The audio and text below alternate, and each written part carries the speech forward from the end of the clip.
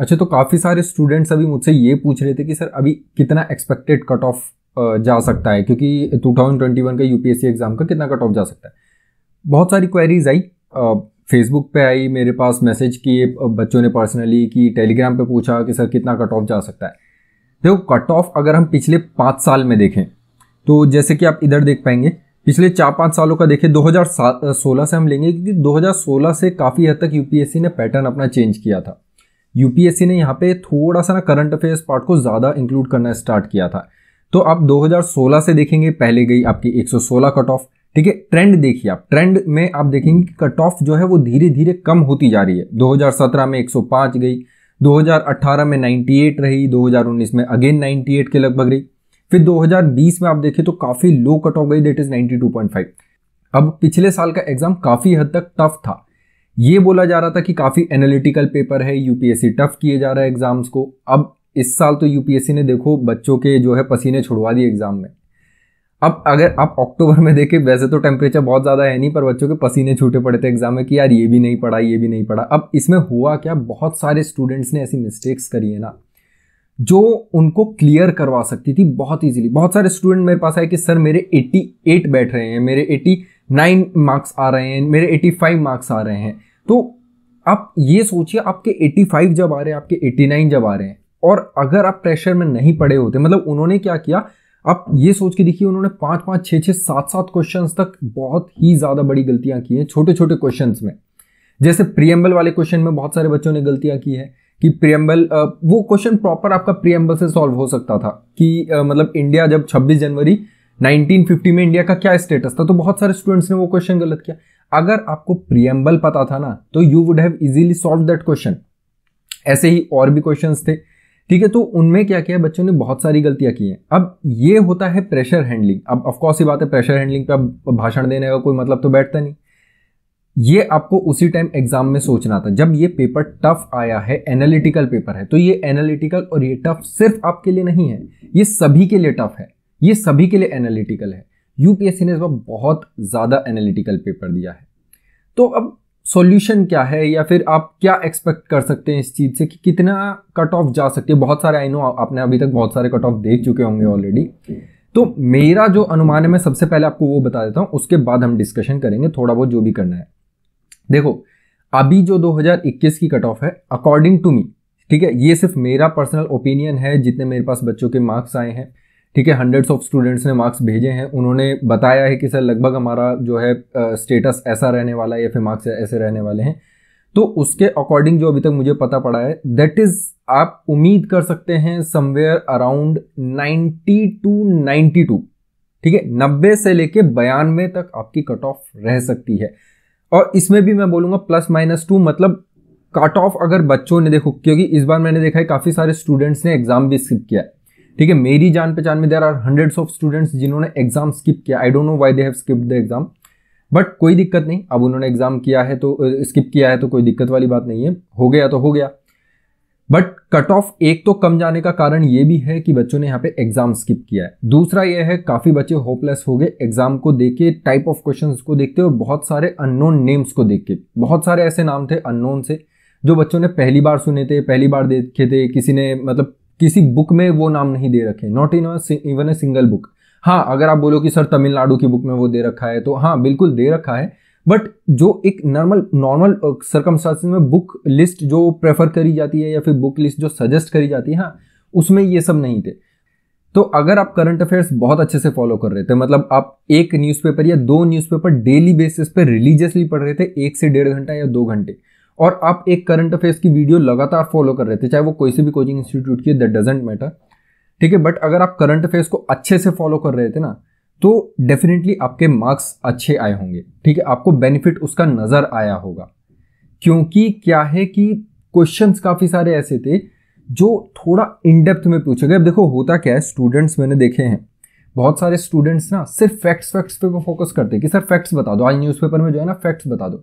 बेटा, बहुत सारा ऐसा पार्ट है ना जो एनालिटिक्स से आया है, जो इन डीपर नॉलेज से आया है। जब तक आप खुद न्यूज़पेपर नहीं पढ़ेंगे या फिर ऐसी वीडियो नहीं देखेंगे जो डीपर रिलेशन बना रही है न्यूज़पेपर्स के साथ, ठीक है? जो अच्छे से वहाँ पे किसी एक न्यूज़ को कवर कर रहे हैं, तब तक वो चीज़ फ़ायदा नहीं देगी आपको। अगर हाँ सिर्फ़ आपको फैक्ट पढ़ने हैं पीसीएस लेवल के लिए एसएससी लेवल के लिए तो आप बाकी वीडियोस देख सकते हैं। बट अगर आप यूपीएससी के लिए पढ़ रहे हैं ना तो डोंट मतलब आप शॉर्टकट मत मारिए। शॉर्टकट मत मारिए। और ये आगे के लिए लेसन है। जिन बच्चों का इस साल नहीं हो पा रहा है, कोई दिक्कत वाली बात नहीं है बेटा।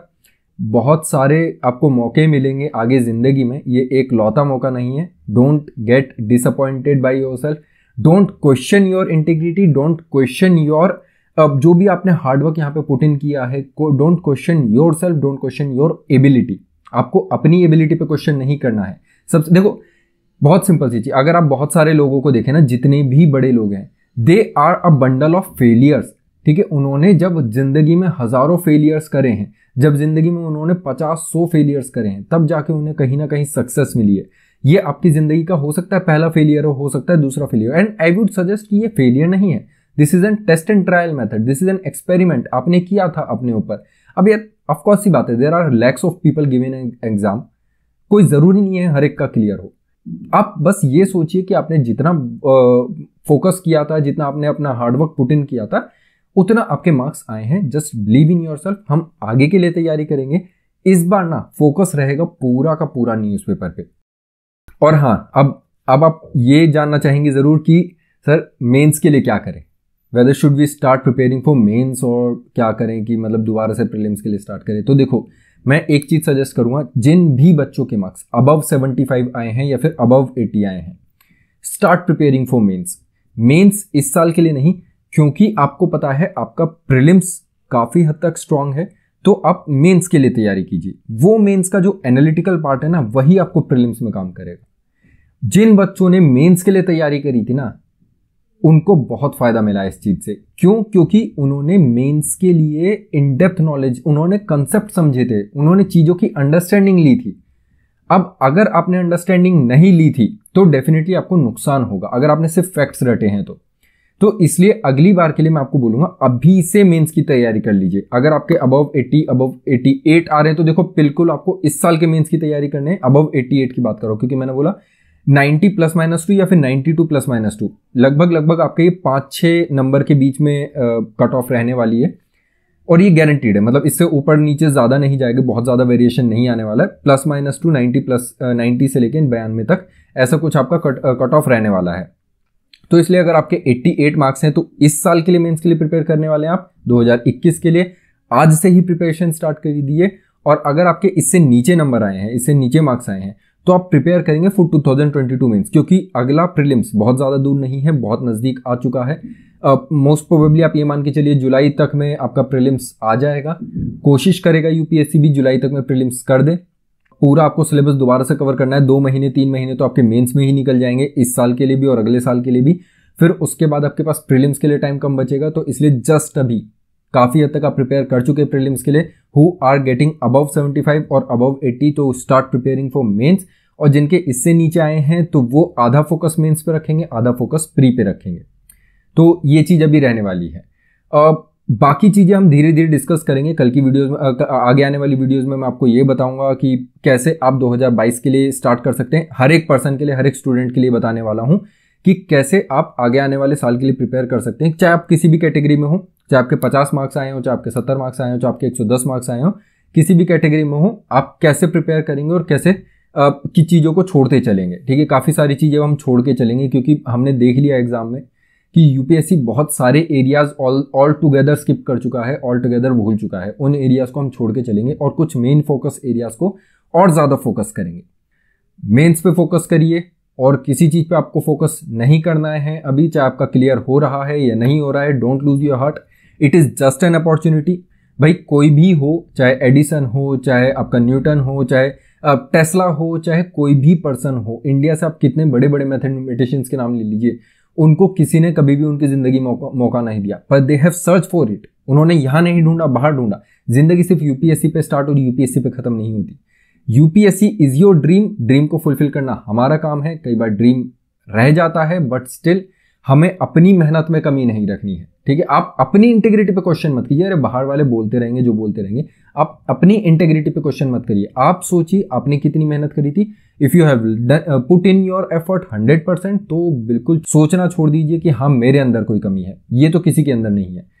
ठीक है? तो आप सब्सक्राइब कर लीजिएगा ताकि आपको वीडियोस के नोटिफिकेशन मिलते रहें। फिर हम मिलेंगे अपने नेक्स्ट वीडियो में। तब तक के लिए bye bye take care have a great day thank you